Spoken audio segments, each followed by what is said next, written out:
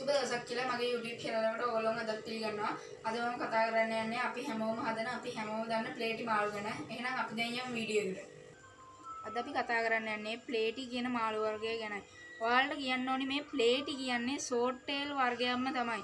හැබැයි මෙයාලා ෂෝට් ටේල්ල තරම් ලොකු වෙන්නේ නැහැ. ඒ වගේම මොලී තරම් ලොකු වෙන්නේ නැහැ. මෙයාලගේ වර්ධනය ගැන ඔයාලට කිව්වොත් මෙයාලා අඟල් දෙකක් දෙකමාරක් වගේ ලොකු වෙනවා. ඒත් පිරිමි සතාට වැඩිය ගැහැණු සතා ලොකු වෙනවා. පිරිමි සතා ලොකු වෙන්නේ අඟල් එකහමාරක් දෙකක් වගේ තමයි.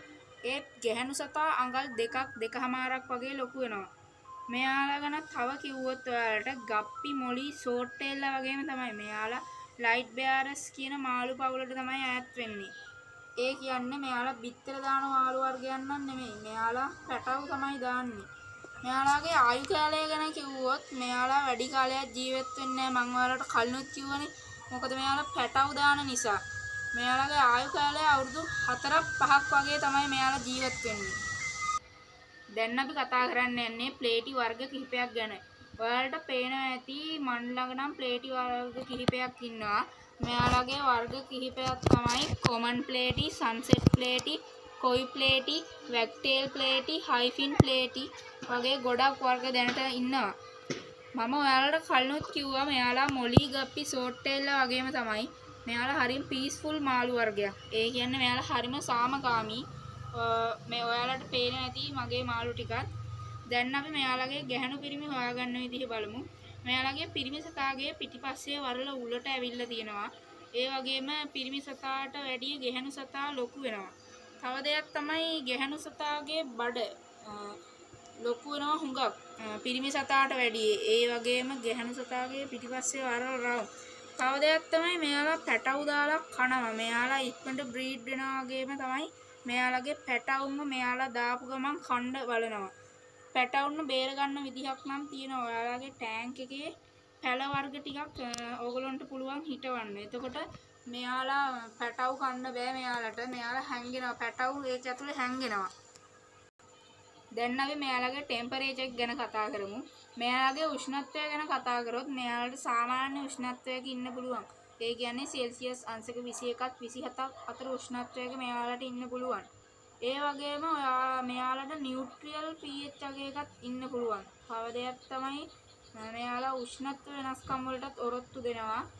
ඒ වගේම තමයි මෙයාලා ඔක්සිජන් නැතු වුණත් ඔයාලට ලේසියෙන්ම හදන්න පුළුවන්. ඒ වුණාට වතුර නම් පිරිසිදුව තියාගන්න ඕනි. මොකද මෙයාලට හොඳ පිරිසිදු වතුර ඕනි. ප්ලේටින්ට විතරක් නම් නෙමෙයි හැම මාළුවෙක්ටම පිරිසිදු වතුර ඕනි. පිරිසිදු වතුර නැත්තම් මෙයාලා ලෙඩ හැදෙනවා. ඒ වගේම මෙයාලා මැරෙන්නත් පුළුවන්.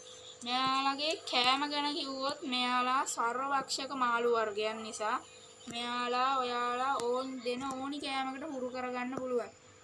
මගේ මාළුන්ට නම් මන් දෙන්නේ හයි ප්‍රෝටීන් පොඩි ඇට එක. ඔයාලට මෙයාලා පැලට්ස් වලට පුරු කරගන්න ලේසියෙන් පුළුවන්. නැත්තම් ඔයාලට බ්ලඩ් වර්ම්ස් හරි මදුරු පීටෝ හරි දෙන්න පුළුවන්. දැන් අපි මෙයාලගේ ටැංක් මේට්ස්ලා ගැන කතා කරමු.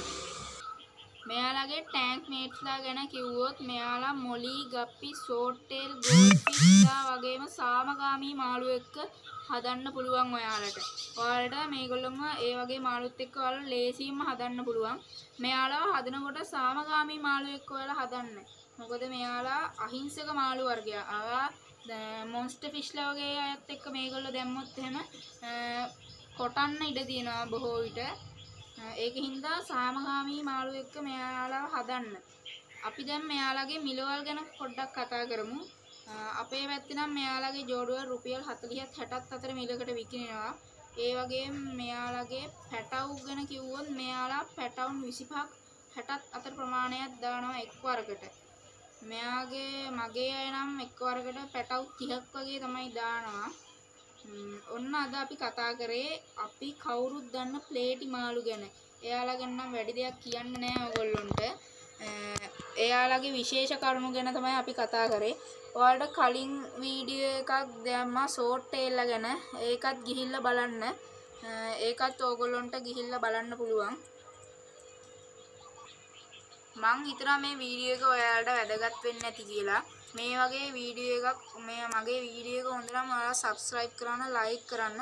අදට අපි සමුගන්නවා. තවත් දවසකින් මේ වගේ වටිනා වීඩියෝ එකකින් හමු වෙමු.